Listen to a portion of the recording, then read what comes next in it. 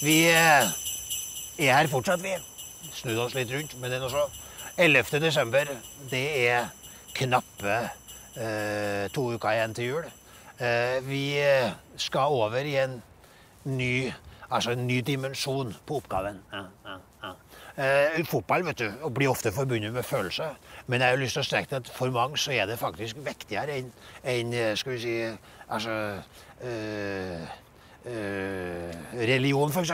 Og neste svar, eller svaret på dagens løkeoppgave, da, det er jo skal vi si, altså I Rosenborg så har vi mange som har skapt religiøse følelser, eller en slags sånn æresfrykt for det geistlige. Men det laga en sang om tre uh, av våre mest, i min tid, da, mest sentrale Rosenborg-spillerne noensinne, vil jeg påstå.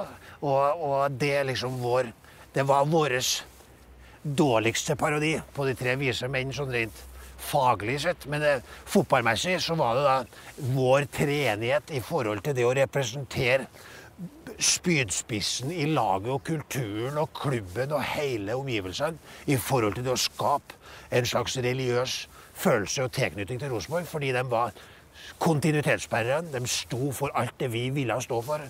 Hvilken, hvilke tre er det snakk om? Altså Hvilken sang er det snakk om?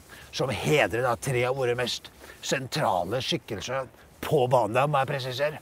Eh, svaret RBK jul 2229. Soppen er der.